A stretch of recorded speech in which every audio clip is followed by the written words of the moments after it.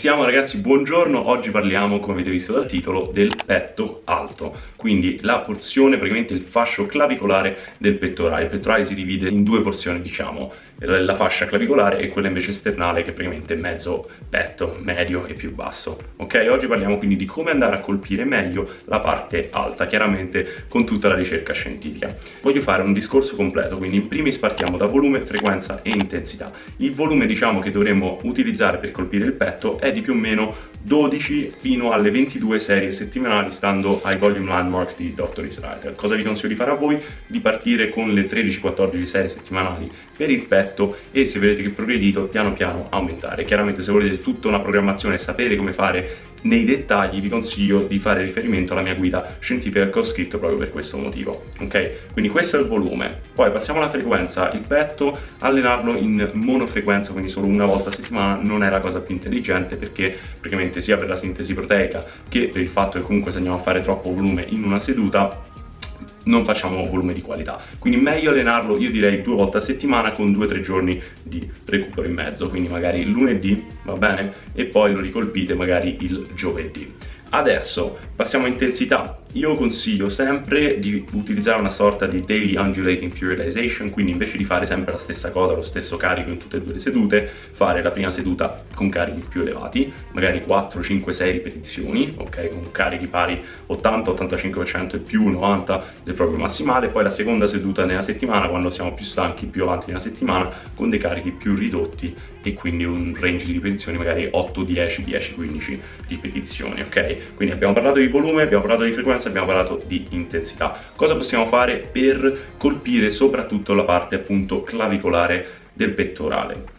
Cosa fondamentale sono stati fatti degli studi di EMG, quindi di attivazione di EMG, praticamente stimolano, stimolano la contrazione nel pettorale con diversi eh, esercizi e vedono quale va a colpire soprattutto la parte alta del pettorale e chiaramente hanno visto che con una panca inclinata, quindi con una panca un'inclinazione si va maggiormente a riporre enfasi sulla parte superiore del pettorale e meno sulla parte diciamo centrale del pettorale. Cosa vuol dire come possiamo applicarlo? Ovviamente dovremo sostituire quello che facciamo sulle panca piana con una panca inclinata che può essere manubri, può essere bilanciere, quello decidete voi, magari fate un mesociclo da 10 settimane con la panca inclinata con il bilanciere e provate a progredire e poi il mesociclo dopo fate una panca inclinata con i manubri e provate a progredire. Io ad esempio quando stavo in America ho fatto 10 10 settimane di panca inclinata col bilanciere. Sono progredito, mi sembra all'inizio facevo 30 kg al lato per 5 ripetizioni, alla fine sono passato a fare 35 kg al lato eh, per 5 ripetizioni e chiaramente ho notato un bello sviluppo del mio, eh, della parte alta del petto.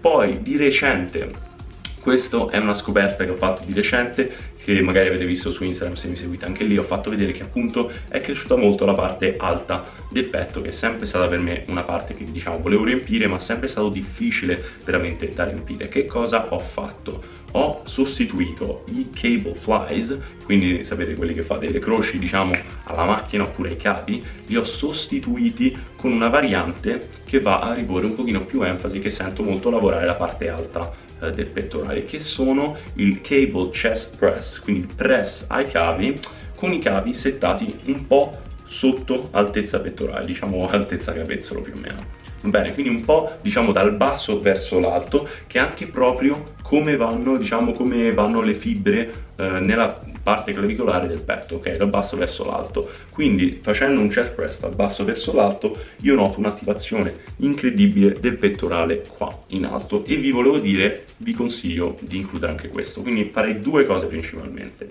come per quanto riguarda la scelta degli esercizi andrei di panca inclinata su tutto, quindi invece di fare panca piana fate panca inclinata, bilanciere o manubri, magari ogni seduta potete fare dalle 3 alle 5 serie di questo movimento e poi passate a fare dalle 3 alle 5 serie di questo low to high cable chest press.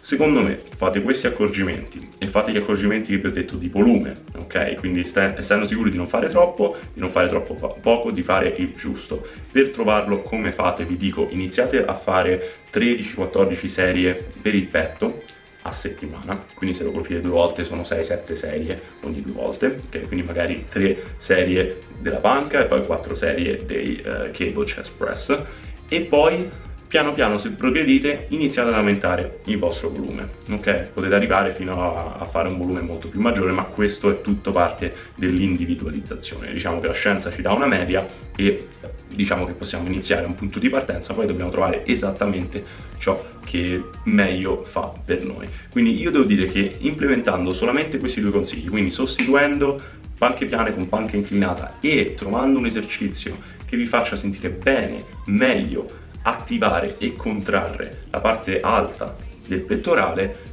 io penso che vedrete e noterete molti molti risultati. Chiaramente dovete dargli almeno un mesociclo, quindi almeno 5 settimane, anche 10 settimane per iniziare bene a vedere i risultati.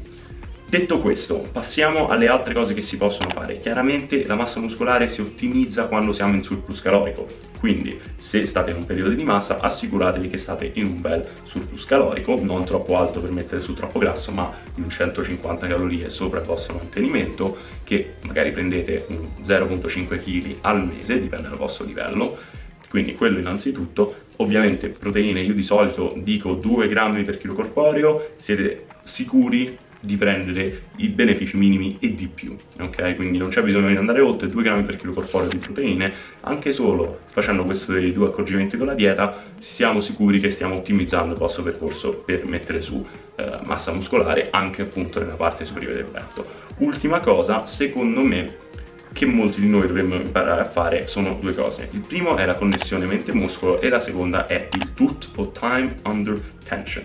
Allora, Connessione mente-muscolo non è stato fatto, credo, una ricerca sul petto, ma sui bicipiti e si vede che chi attivamente pensa e si focalizza a contrarre il bicipite cresce di più rispetto a chi semplicemente fa il movimento e secondo me questo può essere appunto eh, spostato e può essere utilizzato per ogni gruppo muscolare anche il petto ok c'è una grossa differenza a semplicemente fare il chest press con i cavi rapidamente o sentire il muscolo che contrae e focalizzare l'attenzione. Se volete provare a fare, chiudete gli occhi, ok? Chiudete gli occhi, so che sembra strano, ma chiudendo gli occhi potete veramente riporre maggiore attenzione al petto e essere sicuri che attivate il petto, non le spalle e non altri gruppi muscolari. Quella è la prima cosa. Seconda cosa, il tut, time under tension non è una variabile iper importante ma è importante per essere sicuro che state riponendo abbastanza tensione meccanica per abbastanza tempo sul pettorale ok? Quindi qual è un tut migliore? In teoria non esiste, l'importante è che non sia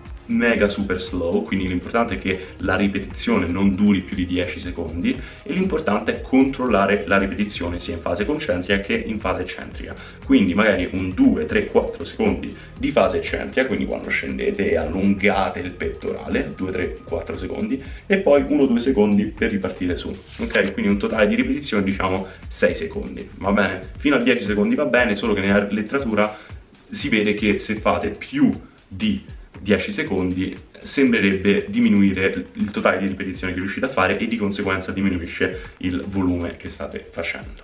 Va bene? Questo era il video per oggi, io spero vi sia piaciuto, so che ho provato diciamo a includere un pochino di tutto, non posso andare super nei dettagli anche perché diciamo che si tende più a leggere e a studiare rispetto a semplicemente io che parlo. Se voi volete un programma, imparare a fare i propri programmi di allenamento e volete sapere come strutturare al meglio tutto, volume, intensità, frequenza, come strutturare il vostro mesociclo, come strutturare il vostro anno di allenamento e volete anche dei programmi esemplari, ho scritto la mia guida scientifica Natural da 0 a 100 che attualmente per Natale e diciamo le feste sta al 40% di sconto, quindi vi lascio qui il link se volete andare a dare un'occhiata, secondo me è ottimo, sono veramente sicuro al 100% che lo acquisterete e sarete tipo ok, così si fa e andrete a bomba. Io vi ringrazio di cuore, come sempre, per la visualizzazione, lasciateci un bel like, iscrivetevi al canale, lasciatemi un commento e fatemi sapere se volete qualche altro video informativo così. Io vi ringrazio, vado in palestra. Al prossimo video.